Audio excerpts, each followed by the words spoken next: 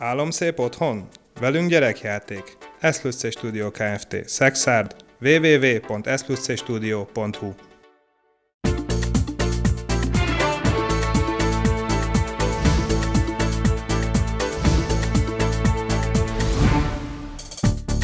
Összetartozás napja. 99 éve írták alá a trianoni békediktátumot. Fejlesztés. Milliárdos önkormányzati beruházást készítenek elő Pakson. Gyilkos szenvedély. Rengetegen halnak meg dohányzás miatt. 800-an vettek részt a véradó versenyen. A fiatalok elérése volt a cél.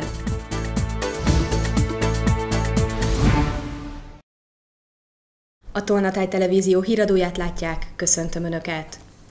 Az, hogy Magyarország a 99 évvel ezelőtt aláírt trianoni békediktátum ellenére újra meg tudott erősödni, az a magyarság és a magyarok eltaposhatatlan erejét mutatja. Erről beszélt Ács Rezső, Szexárd polgármestere, az Összetartozás napja alkalmából rendezett városi megemlékezésen. Magyarország az első világháborús vereségért súlyos árat fizetett. Területének 70%-át, lakosságának 60%-át veszítette el. A Szexádi Szakképzési Centrum vendéglátó szakképző iskolájába járó diákok emlékműsorral készültek a trianoni békediktátum aláírásának 99. évfordulójára. A történelmi Magyarország feldarabolása olyan nemzeti traumát okozott, amit soha nem lehet kiheverni. Erről beszélt Ács Rezső Szexárd polgármestere.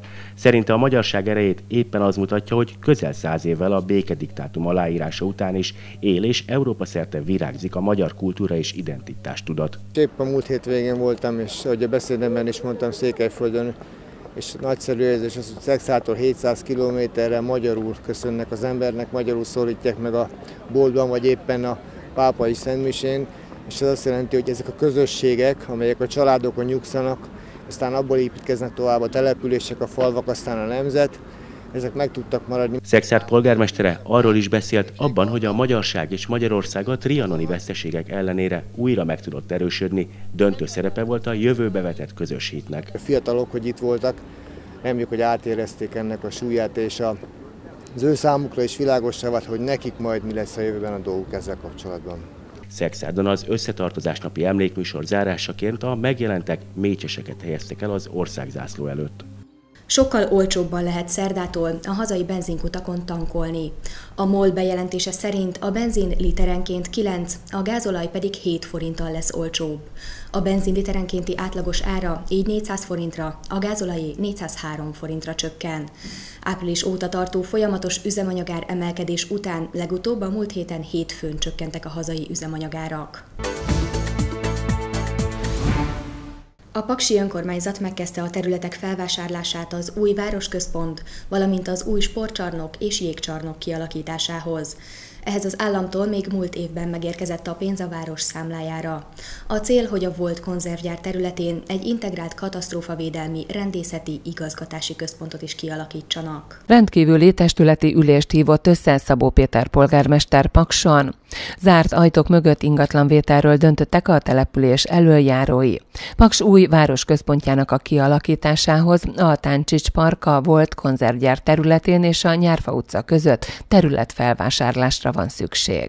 Az állam is szeretne itt kialakítani egy integrált katasztrófavédelmi rendészeti igazgatási központot. Ennek megfelelően az államtitkárság kérésére dél felől, a Nyárfa utca felől kezdtük el a, ezeknek az ingatlanoknak a, a vételét, illetve a vételi ajánlat megtételét. Ennek megfelelően a Nyárfa utcától északra található 13 ingatlan tekintetében kezdik meg első körben a felvásárlást. Két sportlétesítmény kialakítására is sor kerülhet a Gesztenyés út Pollák Mihály utca találkozásánál, ahol új sportcsarnok és jégcsarnok épülhet. Nem az önkormányzat építi ezt a két e, e, csarnokot, hanem e, számunkra csak a, a tulajdonviszonyok rendezése volt a feladat, azaz itt is az ingatlanok megvétele. Itt is megtörtént az értékbecslés, megtette az önkormányzat a vételi ajánlatot a tulajdonosok számára. Amennyiben nem fogadják el a tulajdonosok a felajánlott összeget, kisajátításra kerülhet sor ezeken a területeken. Az ehhez szükséges forrás az önkormányzat rendelkezésére áll, hiszen a magyar kormány 8 milliárd 17 millió forintot biztosított a város részére még múlt év végén, melyből többek között a területek kivásárlását is megkezdheti Paks. 922 millió forintot fizetett ki bérekre tavaly a bajnokságot a 8. helyen záró Paksi FC. Az egyetlen NB1-ben szereplő Tolna megyei futballegyüttes ezzel a hazai csapatok középmezőnyébe tartozik a béreket illetően. A legtöbbet, több mint 4,3 milliárd forintot a videóton költött fizetésekre, míg a legkevesebbet 486 milliót a Balmazújváros. Szigorodott a parlagfű elleni védekezési kötelezettségről szóló jogszabály, törölték ugyanis a parlagfű virágbimbó kialakulásának megakadályozására vonatkozó június 30-ai határnapot. Az új előírások értelmében a földhasználó köteles az ingatlanon a parlagfű virágbimbójának kialakulását megakadályozni, és ezt követően ezt az állapotot a vegetációs időszak végéig folyamatosan fenntartani azaz ha a helyszíni ellenőrzés során, függetlenül annak időpontjától megállapítják, hogy a földhasználó ennek nem tett eleget, a hatóság megindítja az eljárást. A szakemberek azt mondják, hiába a riasztó adatok arról, hogy mennyien halnak meg a dohányzás következtében kialakult betegségekben, hiába hoztak központi rendeleteket, jogszabályokat, a nem dohányzók védelmére a dohányosok és a dohányzás következtében meghalt emberek száma sem csökkent. Volt, aki a padon ülve, más a képzőhely előtt állva szívott mélyeket a cigarettájából Szexát belvárosában. Felvételeink a felméréseket igazolják, amik szerint a lakosság közel egyharmada dohányzik napi rendszerességgel, de a fiatalok körében ez az arány 40%-ot is meghaladja. Teszik ezt annak ellenére, hogy az orvosok, a szakmai szervezetek nem győzik hangsúlyozni, mennyire káros ez a szervezetre, és nem csak rákot, hanem szívrohamot, agyvérzést is okozhat, mondja Bencúr Béla, kardiológus. Urológiai hólyagdaganatokat is például a dohányzással összefüggésbe lehet hozni. Ehhez képest ugyanakkor sokkal nagyságrendileg több a szívérrendszeri szövődmény, hiszen az érelmeszesedésnek, a korai agresszív érelmeszesedésnek is a legfőbb rizikotényezője. Tehát amikor sajnos féktag nélküli vagy féllábú embereket látunk, azoknak egész biztos cigaretta van a hátterébe. A kardiológiai betegségek 90%-ának hátterében a dohányzás áll, mondja a főorvos hozzátéve.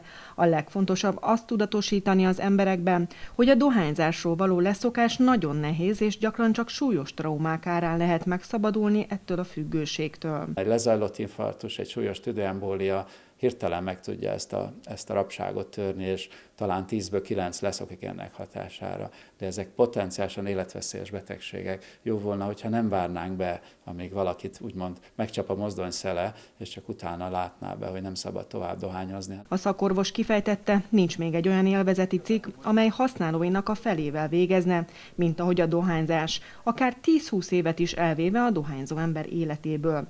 Magyarországon évente egy szexárnyi, azaz 30-35 ezer ember hal meg a dohányzás következtében. Világszerte pedig 7 millió ember veszíti életét ezen függőség következtében. A szakember azt mondja, a számok azt mutatják, hogy sem a központi rendeletek, sem a nem dohányzók védelmére hozott jogszabályok nem érték el a céljukat. Családi napot tartott a Hungária Takarék Szászváron. A településre várták dolgozóikat, valamint családjaikat szombaton. Minden korosztályra gondoltak, a gyerekek ügyességi játékokat próbálhattak ki, míg az idősebbek élő zeneszó mellett barátkozhattak az asztaloknál. Gyerekek, szülők, nagyszülők foglalták el a Szászvári Várkastély udvarát szombaton. A Hungária takarék vendégelte meg a dolgozóit és a családtagjaikat június 1-én. A település önkormányzata és a takarék között régi jó kapcsolat van. Tavaly októberben adtunk át a felújított orvosi rendelőnket, és a Hungária takarék hitel nélkül erre nem lehetett volna ö, sor illetve múlt pénteken adtuk át a csak nem 300 millió forintból megépült bölcsödénket, amire szintén a Hungária takaréktól kaptunk hitelt, és elmondható, hogy szerves része minden nap életünknek a takarék, hiszen ezek a projektek nem jöttek volna létre a takarék nélkül. Ügyességi játékok, arcfestés, csoki szökőkút, szombaton a családok, a gyerekek voltak a középpontban. Mintegy 200-250-en vettek részt a családi napon. Lecsökkent a takarékok száma az országban, 11-két takarék működik jelenleg nagyüzemi szinten, mondja az ügyvezető. A Hungária Takarék is egy három megyében szolgáltató vidéki pénzintézet. A vidékit aláhúznám többször, és a szónak a pozitív technikai értelmébe. A takarékszövetkezetek, így a Hungária szigorúan a vidék, a kisfalvak, a kisebb települések vállalkozásai népessége önkormányzatainak a szolgálatára jött létre és tartja ezt a funkcióját. Ez a három megye a Dél-Dunántúl alapvetően, ugye mi Baranya, Tolna és Fejér megyébe átnyúlva tevékenykedünk. 220 munkatársa van egy szövetkezeti hitelintézetben működő kis formációnknak. 40 helyen vannak egységeik, és 70 ezer ügyfelet szolgálnak ki napi szinten. 100 milliárd forintot kezelnek. Pedagógus nap alkalmából köszöntötték Tolnán a település óvoda pedagógusait, tanítóit és tanárait, valamint elbúcsúztatták a következő tanévtől nyugdíjba vonuló kollégákat. A Pelszhoffer Ágnes, Tolna polgármestere arról beszélt, hogy a nevelők, tanítók szerepe egyre fokozódik, ugyanis egyre többen költöznek vagy térnek haza a városba, és folyamatosan nő az óvodákba és általános iskolákba beiratott gyerekek száma is. Például a gyerekek, gyerekeiket jó óvodákba, iskolákba tudják, szeretetteljes környezetbe tudják, és és a tudáson túl kapnak valamit, ami ebben a rohanó világban talán egy kicsit még fontosabb. Egyre idősebbek adnak vért. Az Országos Vérellátó Szolgálat nehezen tudja elérni a fiatalokat. A szolgálat ezért többféle módon is népszerűsíti a véradást. Legutóbb a Szexárdi közép- és általános iskolák között hirdettek véradóversenyt, amin több mint 800-an vettek részt. Több véradáson járt televíziónk az elmúlt években. Döntően középkorúak vagy annál is idősebbek nyújtották a karjukat ott jártunkkor. Pászti Vera az Országos Vérellátó Szolgálat szexárdi vérellátó vezető főorvosa azt mondja, ez nem véletlen, ez egy tendencia. Úgy látják, ahogy a társadalom, úgy a véradók átlag életkora is emelkedik. A véradás népszerűsítése a fiatalok és szüleik elérése érdekében úgy döntöttek, véradó versenyt hirdetnek a szexárdi általános és középiskolák között. Nem is számítottak rá, hogy 800 embert sikerül így elérniük. Ez a 30-40 éves korosztály máskülönben nagyon nehezen bevonható a véradásra, az ő életüket kitölti a munka és a család, nem érnek rá egyszerűen eljönni véradásra. Így az általános iskolákban szerveztünk véradásokat, kicsit közelebb vittük a véradási helyszínt ezekhez a szülőkhöz, így eljöhettek véradásra, amikor a gyermekekért jöttek az iskolába, és hát még egy nemes versengésnek is részesei lehettek. Szűcs Mária, Szexádi Balassa János Kórház orvosigazgatója a véradó verseny eredményhirdetésén arról beszélt, mennyire fontos a szülők, tanárok példamutatása. Úgy gondolom, hogy ez egy remek családi program volt az iskolákban, főleg az általános iskolákban, ahol a szülők példát tudtak mutatni a gyerekeknek, apa, anya, a hős, aki tartotta a karját a véradáson. A versenyen részt vett középiskolák között a legtöbb embert, közel 40 véradót a Csapó Dániel szakközépiskola tudta mozgósítani, amíg Róz Gergely szakmai főigazgató helyettes szerint elsősorban a tanároknak köszönhető. Szerintem hatalmas tanári motivációval, és a kollégáink mindig törekednek arra, jó példát mutassanak a diákoknak azzal, hogy, hogy ők is vérüket adják, és, és szerintem elég jól sikerült motiválni, főleg a végzős és a technikus tanulóinkat tudjuk. Az általános iskolák közül a Baka István általános iskola szülői és tanári gárdája volt a legaktívabb. Az iskola igazgató helyettese azt mondja, a véradás fontosságát egészen kicsikorban megtanítják a gyerekeknek. Ezt már környezetórákon elkezdjük a gyerekekkel tudatosítani a véradásnak a fontosságát, illetve az idejében volt egy olyan lehetőség, hogy amikor kint voltak itt a kollégák az iskolába a véradáson, lemehettek és megnézhették személyesen is, hogy hogy néz ki egy véradás, utána pedig a, egy rajzpályázaton vehettek részt, és elég sok kisgyerek részt vett ezen a pályázaton. Tolna megyében tavaly összesen 11.190-en jelentkeztek véradásra, tőlük 9143 egység vért vettek. A véradók száma a tavalyi évben ezerrel több volt, mint 2017-ben. Regionális híreink következnek. Szakembereket képeznek Komlón, épület és szerkezet lakatos diákok vizsgáztak. Szárazföldön és vízen is versenyeztek, Csopak nyerte az idei nemzeti regattát. Rehabilitációs és alkotótábor, 300 kárpátaljai gyermek kapcsolódhat ki a Balatonnál.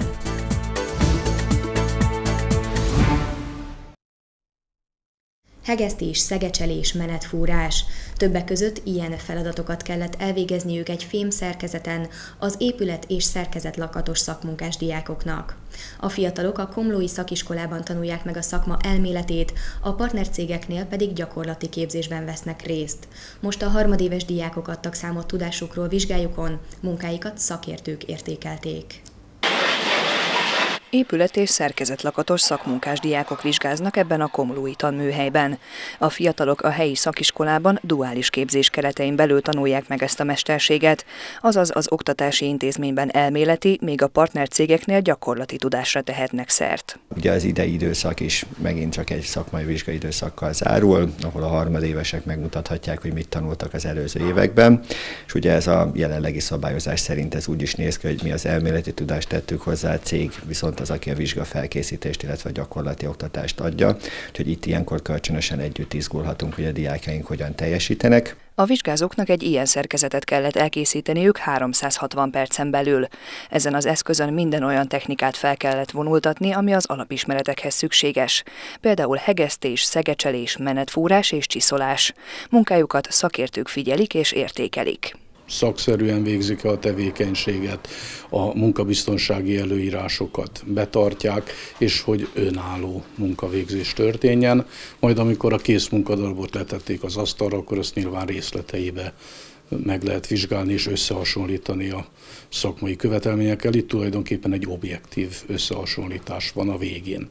Amennyiben sikeres vizsgát tesznek a fiatalok, szakmunkásként mind a fémipar, mind az építőipar területén el tudnak helyezkedni. Ehhez az egyik az iskolával együttműködő cég is segítséget nyújt. Korábban, 30 évvel ezelőtt még, mint a gépüzem főmérnöke vizsgáztattam a, a szakképzőiskolának a vasas szakembereit. Én minden évben felajánlottam nekik, hogy a legjobban teljesítő diák az másnap jöhet dolgozni a céghez. Ezt a hagyományt most is megtartjuk, jelenleg is van három olyan fiatal hegesztő szakemberünk, akik tavaly, tavaly előtt és azelőtt végeztek. A szakképző iskola tapasztalatai szerint nem csak a városban, hanem az egész régióban népszerű ez a szakma, hiszen bár nem könnyű munkáról van szó, a fémipar ágazó, így széles körben megtalálhatják a hozzájuk közel álló képzést a fiatalok. Vitorlásverseny, települési ízek utcája és kulturális programok várták a Siófoki hajóállomásra érkezőket a hétvégén. A kétnapos nemzeti regatta immár negyedik éve hívja hazánk településeit, hogy megmérettessék magukat a vízen, és bemutatkozzanak kultúrájukkal, gasztronómiájukkal. Idén 50 város és falu nevezett a fesztiválra, amelyen több versenyszámban is győztest hirdettek. Benépesült a Siófoki hajóállomás és környéke a fesztiválra hétvégén.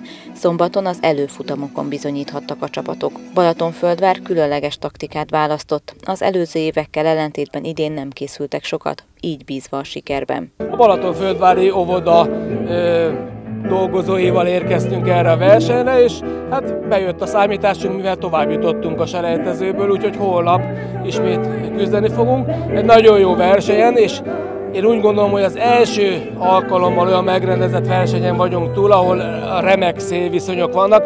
Idén 16 megyéből 50 település csapata szállt vízre a Nemzeti Regattán, közel 70%-uk nem hajós város vagy falu. Alapvetően a e, települések vitorlás versenye, e, amit 2016-ban szerveztünk meg először. Ez egy amatőr vitorlásverseny e, egyforma hajókkal. Vitorlázó tudást nem kértünk a településektől, biztosítjuk a profi kormányost minden hajóhoz, és a természetesen természetesen a vitorlásverseny mellett különféle parti rendezvényekkel igyekeztünk kiegészíteni a nemzeti regattát. Ennek része a települési Ízek utcája, ahol saját tájú gasztronómiáját mutatták be az indulók. 36 város-falu pedig a főzőversenybe is nevezett. Hajdú hatház először vett részt a fesztiválon, amíg a csapat nagy része a vizen volt, a szárazföldön savanyított lapos batyus káposzta készült. Hogy a teles sült karaj, be van fűtve, de le van sütve roston, aztán el van készítve egy darált hús, egy ilyen pörkölt alapon van elkészítve, amiben van még füstölkolbát, és a magyarana dominál benne, és úgy van, hogy egy, egy csaunyakáposzta levél, rá egy feles sült karaj, rá a darált töltött hús, és akkor bele kell bugyolálni a káposztába, és akkor így néz ki. A vitorlás versenyt Csopak nyerte megelőzve Alsőrs és Balatonkenese csapatát. A sárkányhajó viadalon Baja győzedelmeskedett Nyim és Szentendre előtt. A legjobb főzőcsapatot, a legdekoratívabb települési standot és a legjobb színpadi produkciót is díjazták. Mindezek összesített győztese Nyim lett, így a Kissomogyi település kapta a Nemzeti Regatta fődíját. Közel 300 kárpátaljai rászoruló gyermek balatoni kikapcsolódását támogatja több cég, alapítvány és a Kárpátaljai Szövetség. A 13,5 millió forintos hozzájárulásnak köszönhetően a rehabilitációs és alkotótáborban olyan gyerekek nyaralását segítik, akik az orosz-ukrán katonai konfliktus miatt váltak hadjárvákká. A foglalkozások segítenek a részvevőknek identitásunk megőrzésében, és hogy fontossá váljon számunkra a magyar nyelv ismerete. Fogjad, fogjad, fogjad. Amíg a lányok a parton a kötéssel és a fonással ismerkedhettek meg. Addig a bátrabbak a 16 fokos Balatonban is megmártóztak. Sok gyerek most először látja a magyar tengert. Én itt először vagyok, és nagyon tetszik, mert sok új barátom lett, lehet fürödni, lehet játszani, és nagyon érdekes itt. Közel 300 kárpátaljai rászoruló gyermek balatoni kikapcsolódását segíti idén is a Kárpátaljai Szövetség. Hát nagyon sok család nem engedheti meg magának azt, hogy nyáron táborozzanak, pihenjenek, nyaraljanak a szó hagyományos értelmébe. Úgyhogy nagyon sok gyereknek gyakorlatilag ez a, ez a nyaralása azok közül, akik itt vannak. A rehabilitációs és alkotótáborban olyan gyerekek nyaralását segítik, akik az orosz-ukrán katonai konfliktus miatt váltak hadijárvává. Kárpátalján a magyar kormánynak köszönhetően 14 ezer gyerek tanul magyarul, helyben nagyobb az érdeklődés a magyar, mint az angol nyelv iránt, ami egyedülálló jelenség. Ezt az identitás tudatot segíti elő a tábor is. Gyerekeknek legyen egy pozitív magyarság élményük, egy pozitív képük, ami erősíti őket. Hát én azt hiszem, hogy itt a Balatonparton itt egészen nyugodtan kiabálhatnak és fürödhetnek. A 13,5 millió forintos tábori költség több alapítvány és cég hozzájárulásával gyűlt össze. Az elmúlt években összesen mintegy 20 ezer 8 és 12 év közötti gyerek kapcsolódhatott ki a Balatonnál a Kárpátaljai Szövetségnek köszönhetően. A magyar kerekes székes kosárlabda válogatott május 31 és június 2-a között Pécset készült a július végén megrendezésre kerülő Európa-bajnokságra. Magyar András szövetségi kapitány irányításával három edzést tartottak a Nemzeti Kosárlabda Akadémián. A szövetségi kapitány egyben a kerekes székes kosárlabda magyar bajnok Soproni Tigrisek edzője is. Magyar András azt mondja, egyelőre még sok évvel le van maradva a sportág itthon a nemzetközi mezőnyel összevetve. Amilyen a mi akadálymentesített projektünk Magyarországon, és ha megnézzük, hogy a környező országokban az akadálymentesítés milyen szinten van, az a különbség van meg a kosárlabdában is, úgyhogy az lehet, hogy nem is 15, hanem inkább 20 év. Úgyhogy elég szomorú, nagyon későn kezdtük el. Én hat éve kaptam meg a megbizatást a Magyar Kosárlabda Szövetségtől, hogy szervezzem meg a Magyar Bajnokságot, illetve alakítsa ki különböző bázisokat, ahol a kerekesszékes kosárlabdát el tudjuk kezdeni csinálni. Jelen pillanatban még kettő darab bázis van, amin dolgozunk, ugyanúgy, mint a Pécsi csapatnál elkezdtük, az egyik Fehérvár, a másik Veszprém. Végül mutatjuk újra, miről szólt a híradó. Összetartozás napja. 99 éve írták alá a trianoni békediktátumot. Fejlesztés. Milliárdos önkormányzati beruházást készítenek elő Pakson. Gyilkos szenvedély. Rengetegen halnak meg dohányzás miatt. 800-an vettek részt a véradó versenyen. A fiatalok elérése volt a cél.